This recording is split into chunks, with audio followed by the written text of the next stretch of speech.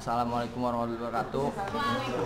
Di sini saya akan menyanyikan sebuah lagu tentang masa-masa sekolah terindah, paling masa-masa terindah bersama sahabat-sahabat saya atau bersama keluarga. Ayo, check it out.